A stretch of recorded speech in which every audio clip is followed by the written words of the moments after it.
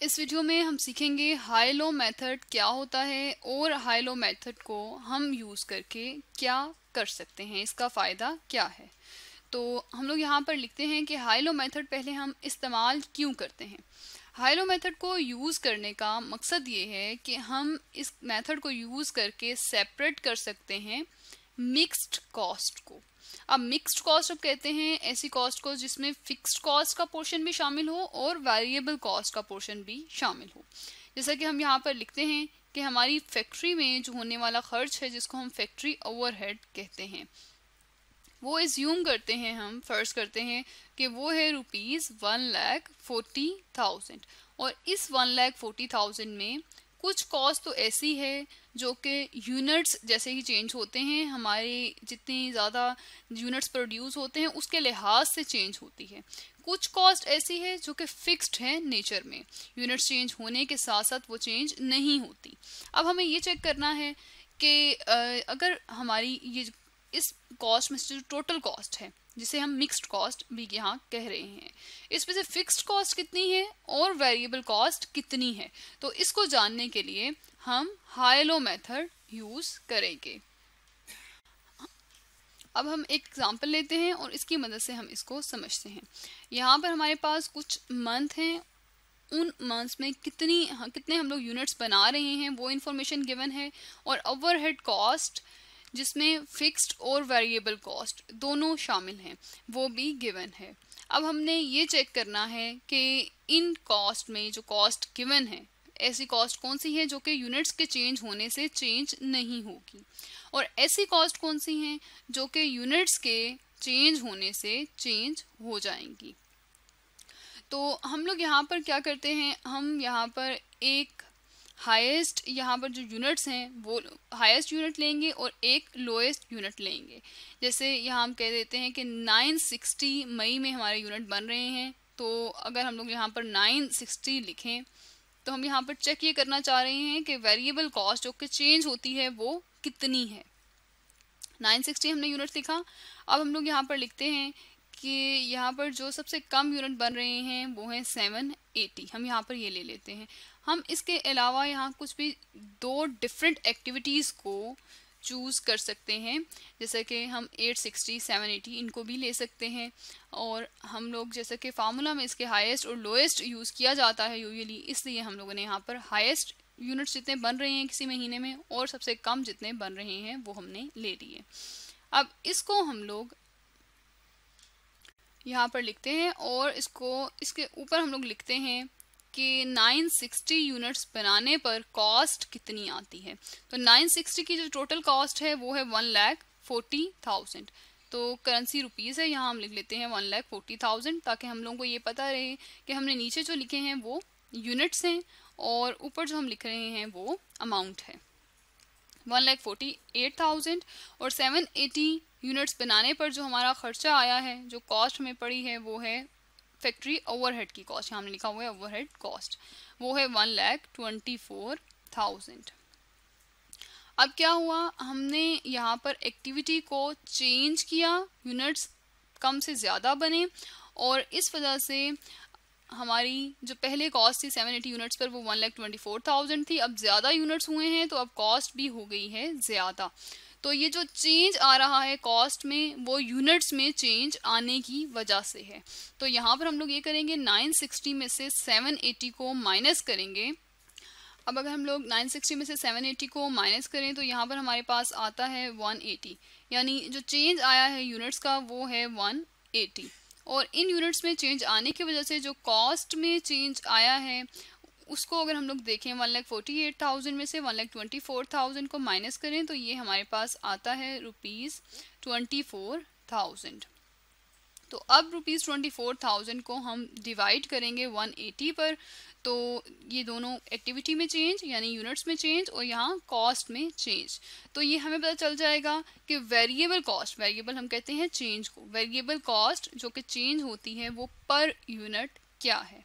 इसको अगर हम लोग कैलकुलेट करें तो ये हमारे पास आता है rupees one thirty three point three.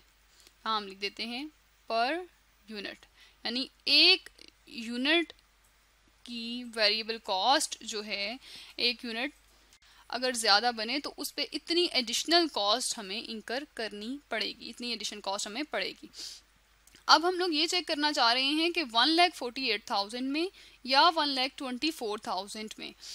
ऐसी कौन सी कॉस्ट है जो कि फिक्स्ड है? तो इसके लिए पहले हम ये करते हैं कि one thirty three point three जो कि पर यूनिट वेरिएबल कॉस्ट आई है, यहाँ पर हम लोग लिख लेते हैं कि ये वेरिएबल कॉस्ट पर यूनिट है, जो अभी हमने कैलकुलेट की है। अब हम लोग देखते हैं वेरिएबल कॉस्ट जो है वो टोटल कितनी है?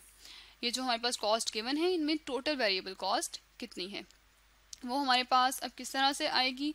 हम one thirty three point three three को मल्टीप्लाई करेंगे, यहाँ पॉइंट इसको यहाँ लिख देते हैं, इसको मल्टीप्लाई करेंगे हम लोग 960 यूनिट्स से। हम इसको ये भी कर सकते हैं, अगर हम लोगों ने देखना है कि टोटल 780 यूनिट्स की कितनी कॉस्ट है वेरिएबल तो हम इसको 780 से भी मल्टीप्लाई कर सकते हैं। तो 960 से अगर हम इसे मल्टीप्लाई करें तो ये हमारे पास आता है rupees one lakh twenty eight thousand तो हमारे पास 960 यूनिट्स की जो टोटल कॉस्ट है, वो है one lakh forty eight thousand और इस टोटल कॉस्ट में से जो वेरिएबल कॉस्ट टोटल है, वो है one lakh twenty eight thousand तो यहाँ से हम लोग फाइंड कर सकते हैं कि फिक्स्ड कॉस्ट कितनी है। फिक्स्ड कॉस्ट अब हमारी कैसे आएगी?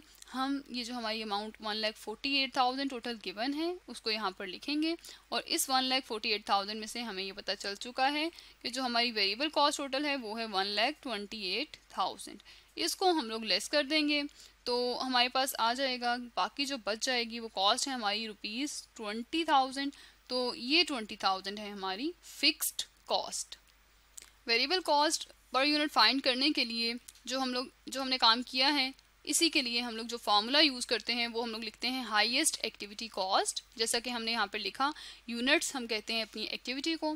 तो हाईएस्ट एक्टिविटी कॉस्ट यहाँ पर हमारी ये थी one lakh forty eight thousand lowest activity cost जो लोएस्ट एक्टिविटी है, वो हम लोगों ने ले ली, उसकी कॉस्ट लिख दी और फिर हाईएस्ट एक्टिविटी यूनिट यहाँ पर जो कॉस्ट लिखी है, इससे रिलेटेड यूनिट्स यहाँ पर जो कॉस्ट है, उससे रिलेटेड यूनिट्स हम यहाँ पर कोई भी दो एक्टिविटीज़ लेकर अगर करें तो फिर भी हमारी फिक्स्ड कॉस्ट सेम ही आएगी। हम लोग यहाँ पर अगर इसको रीचेक करना चाहें कि अगर हम हम सेवन एटी यूनिट्स बना रहे होते तो उसमें यूनिट्स के चेंज होने की वजह से वेरिएबल कॉस्ट तो चेंज हो सकती है, लेकिन यहाँ पर भी हमारी फिक्स्ड कॉस्ट ट्वेंटी थाउज़ेंड ही रहती। तो फिक्स्ड कॉस्ट हमारी यहाँ पर ट्वेंटी थाउज़ेंड है। हम लोग इसको एक दफ़ा दोबारा चेक करने के लिए सेवन एटी पर भी अप्लाई करके देख सकते हैं। तो हम लोग यहाँ पर देखते हैं। 780 पर अप्लाई करके 780 यूनिट्स अगर हम लोग यहाँ बना रहे होते तो 133.3 पर यूनिट कॉस्ट है। मल्टीप्लाई इसको देते हैं 780 से तो ये कॉस्ट हमारे पास आएगी। ये हम लोग पहले हमने किया 960 का अभी हम देख रहे हैं 780 का। हम यहाँ चेक कर रहे हैं कि फ़िक्स कॉस्ट हमारी 20,000 ही आती है या नहीं क्योंकि फ़िक्स कॉस्ट हम लोग कह रहे हैं चेंज नहीं होती किसी भी एक्टिविटी लेवल पर। तो इसको 20,000 ही आना चाहिए। यहाँ वेरिएबल कॉस्ट में देखा, वन लैख फोर थाउज़ेंड आ रही है, one thirty three point three three जो पर यूनिट वेरिएबल कॉस्ट है, इसको अगर हम लोग सेवन एटी से मल्टीप्लाई करें। तो फिक्स्ड कॉस्ट, अब हम लोग देखते हैं कि टोटल जो यहाँ कॉस्ट आ रही है सेवन एटी यूनिट्स की, वो है rupees one lakh twenty four thousand. तो one lakh twenty four thousand हम लोग यहाँ पर लिखेंगे। इसमें से हम लोग माइनस करते हैं rupees one lakh four thousand. तो वन लैख फोर थाउज़ेंड को अगर हम इसमें से माइनस करें तो ये हमारे पास आता है यहाँ पर रुपीज़ ट्वेंटी थाउज़ेंड तो हम लोगों ने यहाँ पर रिकनसाइल भी कर लिया रीचेक भी कर लिया कि हमारी जो कॉस्ट है यहाँ फिक्स्ड वो कोई भी यूनिट्स हम लोग यहाँ पर बना रहे हों, जो भी एक्टिविटी हम लोग जो भी एक्टिविटी कर रहे हैं, जितने भी यूनिट्स बना रहे हैं फिक्स्ड कॉस्ट ट्वेंटी थाउज़ेंड ही रहेगी. और वेरिएबल कॉस्ट उसमें यूनिट्स जैसे जैसे इंक्रीज करते जाएँगे पर यूनिट सेम रहेगी, लेकिन टोटल जो है वो हर एक्टिविटी लेवल पर या हर यूनिट पर चेंज होगी। तो इस वीडियो में हम लोगों ने एक एग्ज़ाम्पल की मदद से हाई लो मेथड को समझा।